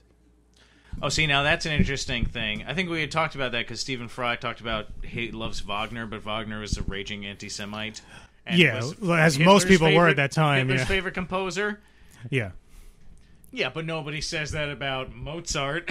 I'm sure Tolkien had some. intense hatred of the Jews. I'm sure like uh, Tolkien had something weird that we're not learning about yet. oh well, he was born in South Africa, so I don't know. That's true. I feel like Tolkien loved everyone except his publishers. Hmm. You just wait. Except all of his fans. The bombshell's coming. Oh man, What's the date I told you? was Tolkien the most racist person who ever lived? In what uh, literary critics are calling the most shocking events ever discovered in the literary community, Tolkien Tolkien, Tolkien's secret Nazi Hobbit fan manuscript. fiction, his Hitler shipping literature, Mussolini and Hitler together. Tolkien wrote a vast history on this. Tolkien once sent Adolf Hitler a letter just with a picture of a thumbs up on it. He was creating emojis before they were even invented. the original emoji.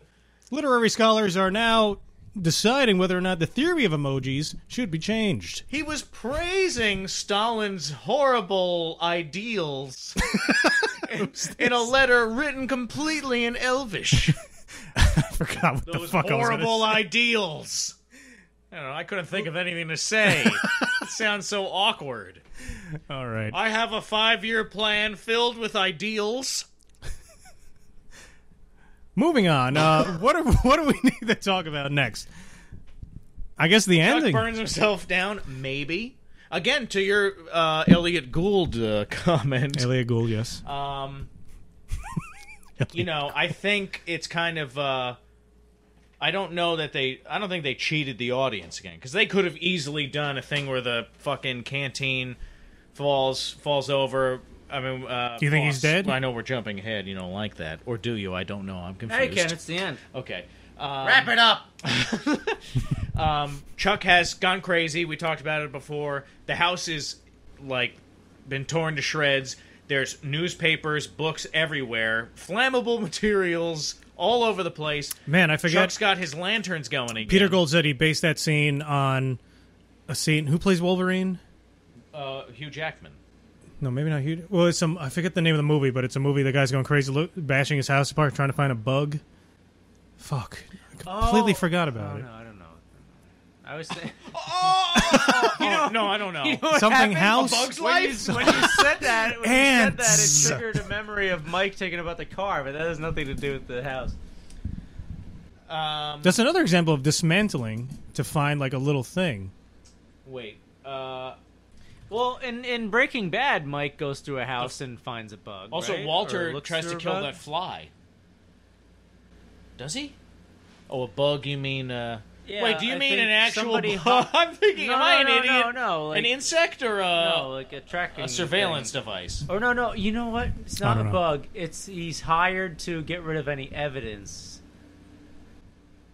in a house. Well, the the other thing he said it What's was the uh movie? Did you find it? no, I can't Shit, find it's it. gonna drive me fucking crazy. We'll figure it out later. But also uh, McKean on Better Talk Saul. Was it Enemy of the State No. with Will Smith? N- oh, that enemy of the state. I Yeah. thought you meant the one with uh, Shia LaBeouf. What's that? No, that's Eagle Eye. What? No, I'm just making a joke. Oh, I don't know what. fuck you!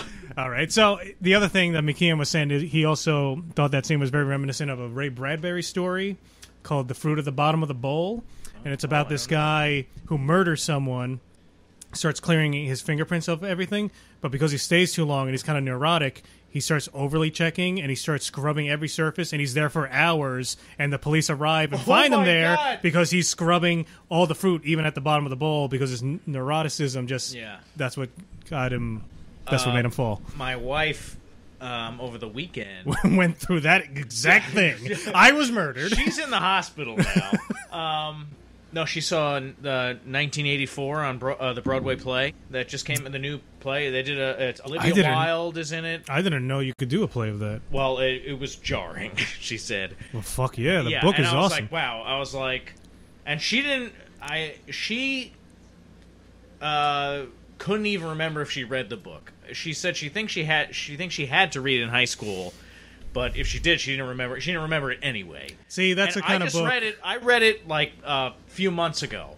that's so a book when you fresh in my mind. when you read it, you remember it. yeah. Yeah. and I was like, War is peace. I was like, so get ready for a half hour of torture, at least. What's the room number? Room Oh God, I don't remember 10 that. I just remember they were in oh the Ministry of Love. There. Oh 108. Oh well, when well the guy he's when Winston's sitting in that when he's first taken to the Ministry of Love and that one haggard Skeletor person comes in and they're like, "Oh, it's time to take you to room whatever." He's like, "Nah, nah."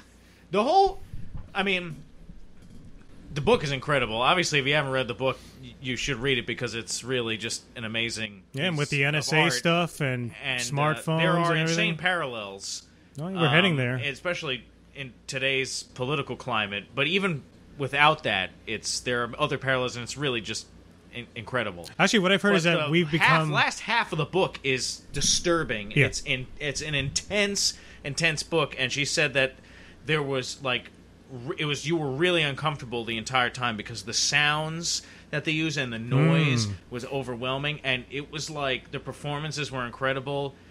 And she said it wasn't like wow, what a great play, but she was like it was a it was a great it was a an, the experience was Oh, yeah. incredible and it was very intense and the guy is like basically like pleading with the audience at one point like begging for help Hmm. because you know at at the end of the book or towards the end um O'Brien is talking to Winston and Julia you don't know what's happened to her you assume the same thing is happening and it's like you're here's this box or something with your deepest most darkest fear that they finally confront you with, and he's like, "You're gonna be eaten alive by rats," basically, and he starts fucking flipping out.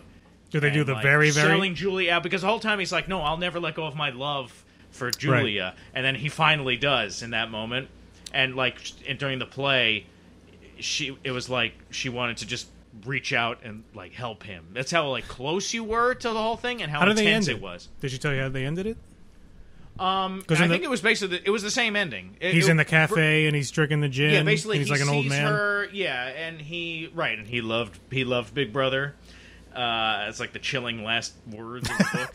And, um, no, but uh, yeah, it was. He sees her. They meet, and sh but she has like no idea who he is. She doesn't remember. Yeah. I think in the book that they they do remember though. They both remember, but they have like this different. They, They look change- back on it differently. yeah, they're completely brains different people. brainwashed. Yeah. Um, but in the play, how she described it to me, it was that she basically had no idea who he was. Did you ever see Rocky the musical? Which I actually would. anybody?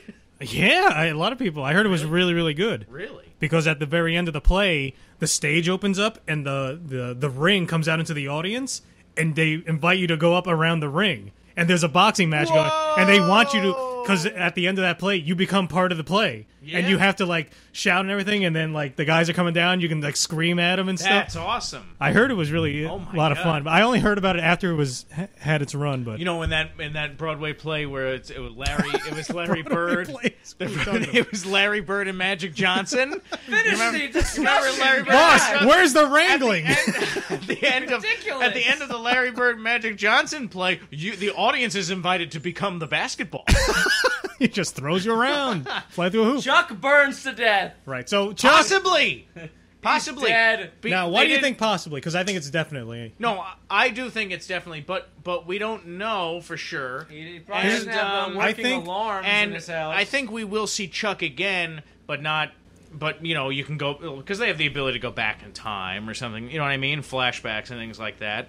Uh, That's like true. we saw where where they're children. You know what I mean? They're, and when uh, Chuck is uh, Chuck's ex-wife is coming to visit, and Jimmy's there um, in the episodes leading up to his trial. Remember that? Right. And uh, but um, Basically, Chuck is nothing purposely. is confirmed. But I, I'm I feel confident that he's dead.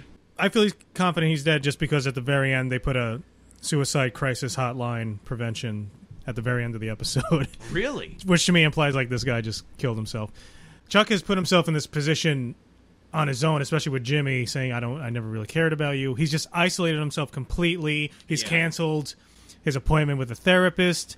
Um, he's he's uh, he's not only left the firm, but he's made essentially like the person he's closest with there absolutely detest him.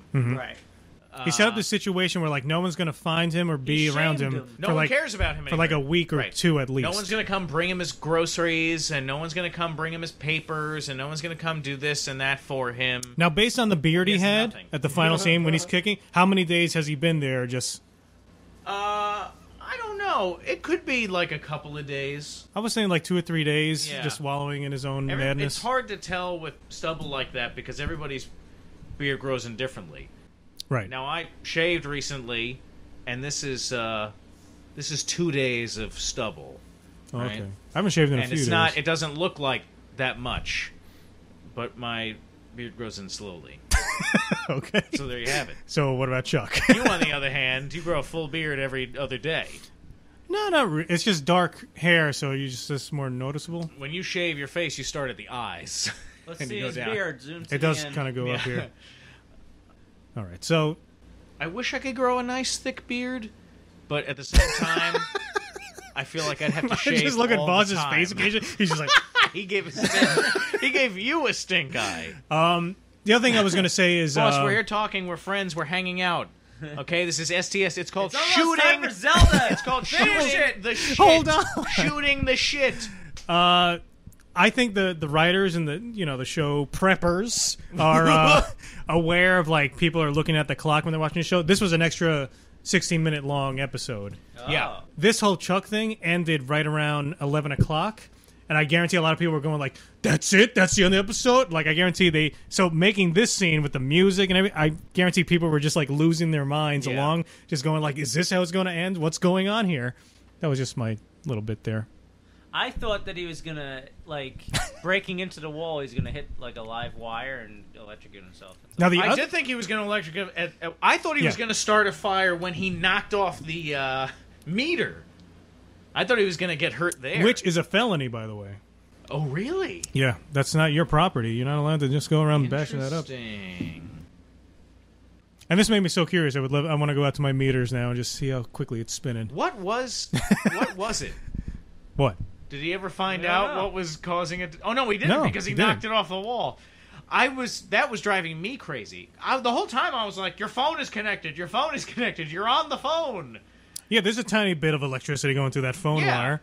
And uh, What could it have been? I don't know. Maybe, it, maybe It's driving me nuts No, now. but maybe. Hold on. Groundbreaking. You don't think I'm the was- first person that's ever thought about it. I think I don't think it was actually spinning. I think That it was, was all in his head. That's another thought I had Ooh. because he has nothing else to focus on. yeah.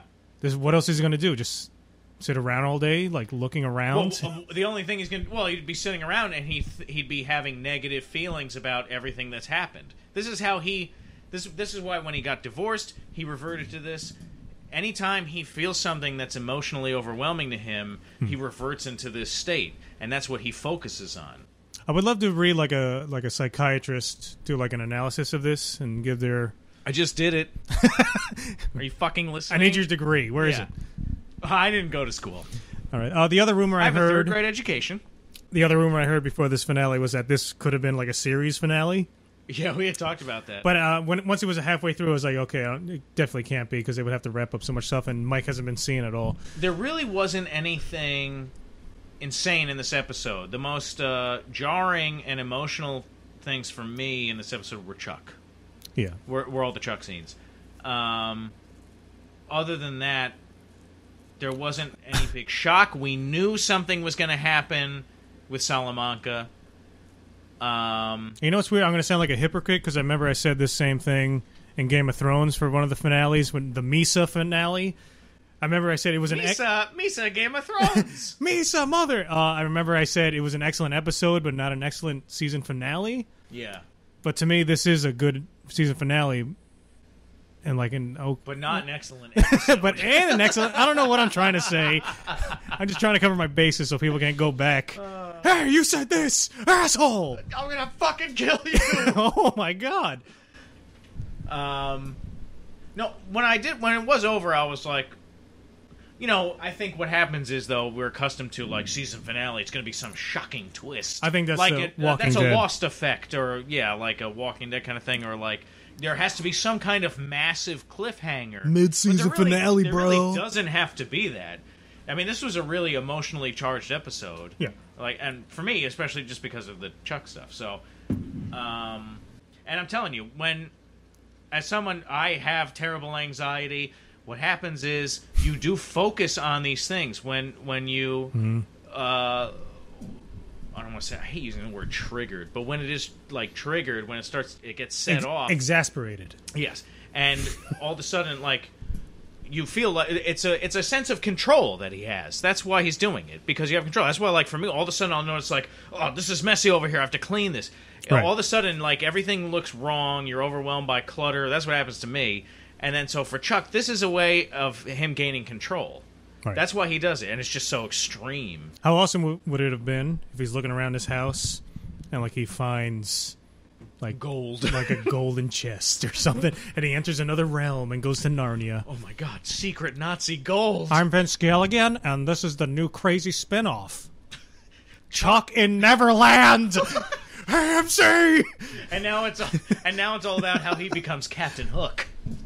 Vince Gilligan appears at the end of the finale. It's a cold room. he just sits down in a chair, staring at a camera, It's just yeah, it's just explaining him. it. It's like in a police interrogation room. It's just a cigarette burning under a hot light. That's the show. It's him telling you the story. I wonder what he does when it's uh, like a thunderstorm. Is that super Vince trigger Gilligan? him? No, Chuck. This is lightning. Oh my god, yeah, the air is charged. Yeah, I don't know. Maybe he has like a secret like Bunker? panic room. Yeah, I'm like a surprised. bunker, a I'm panic surprised they never I'm brought that up. Well, they're in They're New in the Mexico. Yeah. There's not. I no, but, guess. but I mean, there are storms, but I don't think it's that often. It's funny because when I went to Las, I went to Las Vegas one time. It was I was there. Here we It go. was all rainy days. Right, Settle in for 20 musical. minutes. Yeah. Oh, really? You were in the rare It- time? Yeah, I was in like the rain week. We have one week where it rains here in an It was crazy. LV. That's what we call it. People who live there. Oh, LV. yeah. You're not supposed to tell me anything. We're the killers. Now I'm from LV and I'm singing my song and uh, we're the killers. And she's kissing someone else. Yeah, blah, yeah, blah, blah, blah, That blah. was, a, that was a Norm Macdonald thing where he's talking about, uh, you know, what happens in Vegas stays in Vegas. That doesn't apply to everything. You know, you can't kill somebody and leave. You know, but it's uh, you can. Have, it means that the prostitutes are discreet. anyway, look it up. I'm not going to do the whole bit. Well, thank you, Dexter. All right. Well, thoughts on the next funny. season, boss? What, what's going to be happening next season? Uh, Kim- Chuck's funeral. Maybe uh, you know a little after funeral Coitus? coitus. huh? you know, and um, I don't know, man. This uh, More Kim in pajama I, pants? I would like to see more Mike With any stuff. luck. We need yeah, more more Mike stuff. Well, pajama there's going to be more Mike stuff. There's going to By be the more way, I Fring saw- stuff. The pajama pants had little uh, uh, dachshunds on it. So. Oh yeah. Oh, Dachshund fan. To inspire wiener behavior. Oh, While she eats that sauce. Vince, you've done it again! Oh, yes. the subtle hints at your deviance. That's what they say after that scene ends. Peter Gould's just like, Vince, you've done it again. They shake hands and light cigars. With $100 bills. Oh, it's great to be king. King right. of the world. Did we discuss enough of Jimmy and Kim's relationship? Yeah, What's going yeah, on here? definitely. Now, how do you feel about her dipping her cheese Doritos into a cheese sauce? I think she's a power wonderful woman. I think I want to marry her. All right. Um, I've done that. I'm not ashamed to say it. what, what else? Trying to think I've here. done. I you know I. I'm ashamed that you said it. Why? I, you know what's good? Cheetos and uh, onion dip. I've done that. Nutella on- onion crackers. Yeah. Ooh. I do. I do potato chips I'm just and making- Nutella. Actually, like, I- And pita chips and Nutella. I go through so many Tabasco little bottles because I'll take individual Cheez-Its. Why don't you just get a big bottle then? Uh, Save your it's- fucking money.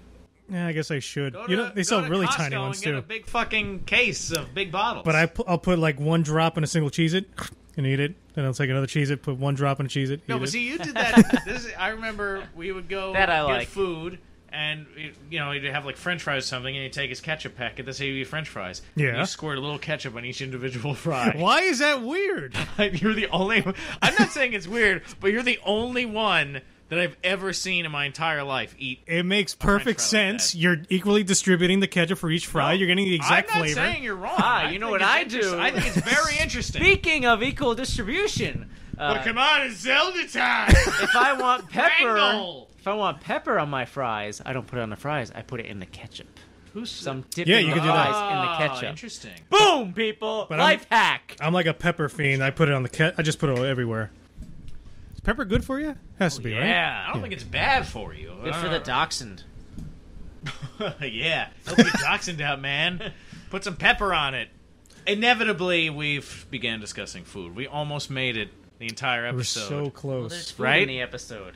I know, but we were basically done, and then, and then I had we to bring up started that talking fucking about cheesy chips. dip. I never thought about putting pepper in the ketchup. Can I be honest? Although I'm not a big ketchup guy. I think that's why. I'm outside of the box. Because I don't always use ketchup. I so I usually salt and pepper the fries themselves. Not a big ketchup See, guy. I don't even know what that wasted salt and means. Pepper. It all, it's all I it's don't all like 'em. I don't bouncing always around. use ketchup. I It's think going 40% off of the fries. Forty percent of my calories It's comes from ketchup. distributing 40% of my itself body is ketchup. Strangely, when you throw it in the ketchup, it sticks to the ketchup. Mix it up. Boom. Equal distribution. I love trying different kinds of ketchup. Heinz. I love all natural ones without corn syrup. okay, Tabasco. let's go. There's sriracha ketchup. They have uh, barbecue now it's ketchup. Zelda. Tabasco ketchup they have, but What it doesn't is- taste I the just same. like ketchup. I like ketchup and mayo. That's good. You you yeah, ketchup. I fries and mayonnaise. Does that make me even whiter than I already thought I was? Just dipping French fries in You can mayonnaise. go to No, it makes you Holland. Belgium. You know what's Belgian. good is you take ranch what dressing and you dump hot sauce in the ranch dressing and mix that up. I don't really like ranch. I like mayonnaise. It's the- That's that's America's number one dressing. I I don't know. It doesn't. It always, I would wager. I'm a vinegar guess. guy. I never had Oh, good I ranch. like oil and vinegar. I, I can be simple. just but like ranch is straight good. Ranch is nice. Every I'm not time a I- big blue cheese guy, but ranch. I love blue cheese. You're sick. but uh, Just kidding. it's weird just- if you get store bought blue cheese and I guess store bought like the ranch, chunks. But it always tastes like a, chunks is a gross. it always word. tastes like chemicals to me. It tastes like what? Remember, Houlihan's had the best blue cheese. But if you don't like the oh, chunks, They have just, nice honey mustard. just oh, great honey mustard. I got their recipe. It's just basically mayonnaise, yellow mustard, and and honey. But it's mostly mayonnaise. That's why it's so good. Ah. there you have it. What else is good from chain restaurants? I haven't been to Houlihan's. I remember in college we go to Houlihan's like once a week. Oh my god, I used to go there all the time. And it used to be cheap. Now you go Yeah. there, it's like going to. Uh, I just get chicken fingers and fries and the honey mustard and Oh. like three pints of Guinness, and you can smoke. you Three can smoke pints? there. three pints of Guinness to start with. That's my appetizer. And that's what this was like early 2000s or whatever, so you could smoke still inside. When I Mm-hmm. smoked, it was glorious. What a great day. Anyway, Hope you all enjoyed this. All right, so oh that, yeah, that's it for Saul. We're not going to have any more Saul discussions. yeah, so yeah, so Game of Thrones is going to be the next show we're probably going to be talking about. July 17th? It's going to be exciting. Um, I heard that the Hopefully- final episode of that se- season is an hour and a half long. yeah, I saw that in a text. Uh, before our uh, Game of Thrones comes out, you may be getting additional content. Oh. That's as far as I'll go. I guess we. Well, no, we could announce a little something. Additional content? All right, well, I'll say this. Just say it. I'll say it. Uh, a while back, we had a special live D&D campaign that was on Twitch. 2015, I believe it was. I think it was 2015. The Scourge of the Bramble Downs. Oh, the Scourge. I'm just calling it the Bramble Downs. That's the short And I'm not going back. name. I'm not going back name. and changing short the work that I've done. AKA Bramble Um, Downs. All right, I'll call it the Scourge in the next one I edit. No, just call it Bramble Downs. It's a short right, title. The Bramble Downs. Anyway, The long title is It's a The Scourge of can- it's a special live Twitch D and D campaign that we did called the Bramble Downs, aka the Scourge of the Bramble Downs. All right, and um, we're working on that. That's going to be coming out very soon, and that's all leading up to something even more special. But there'll be many episodes. Just leading up to that. more D and D. Yeah. Yes. All D and D. But, D and D um, crazy. Also, we have a new Twitch channel. Twitch has changed their entire format up finally and thankfully. There's a lot of new things Yeah, here. because there was things that they're finally doing that now. Back in 2015, we were doing the live D and I wish we could be doing stuff that they now allow.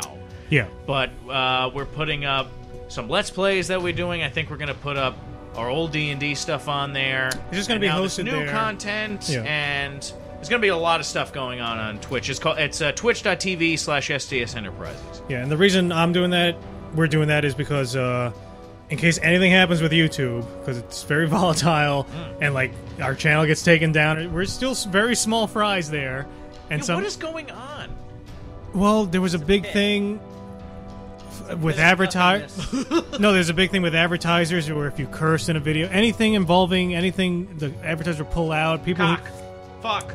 like I was uh, one guy I follow, he has like 70k subs, but he says for the past few months he's getting as much money as though he had like 10k subs, Oh. just because his content might include something that maybe is a little horrific or he talks about something like that. It just seems stupid. Just because he has some horrific Some grossly illegal pornography. Suddenly that's to be frowned upon.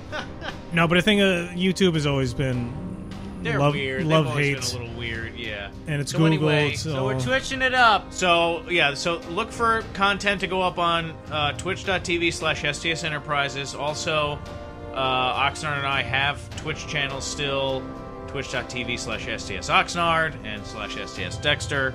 Occasionally we do stream on there uh, when we have a chance. And um, yeah, so look within the the next few weeks, I think, for this special uh, Yeah. Twitch D uh, D&D campaign that we did. Videos, the that content will be coming out, and I think you're gonna like it. It was a lot of fun. Yeah, some And of- some listening to it, it's actually I was like, oh wow, this is actually a lot of fun. Some people have heard it when they were there, but you probably missed parts, and there was really no place to find it. So we're just. Oh yeah, no, because Twitch after you stream something, it, the video would be up there for like a few days or something. Yeah, and you have to and then it was actually just save it. gone. Poof. Yeah. So we've delved into the STS archives to bring this to you. That's it. Goodbye forever. No predictions for Saul? Me? No, I agree with boss uh, Chuck Funeral. Chuck Uh, Funeral? and uh, more and uh, a real kind of downward spiral now for uh, for Jimmy. All right, that was been a uh, that's been a great season. that time, bad. Ah, too much rum. See you later. Thanks for listening. Thanks for being beautiful. Stay lovely. Stay in school. I love you. Uh, Yeah, you're all right. Dexter said it all. I've summed it up perfectly. Don't be, don't come on too strong. No, uh, marry me. Eh, Uh, be with me forever. listen to us, I guess. Stay with me. Hold me. Caress my hair. Goodbye.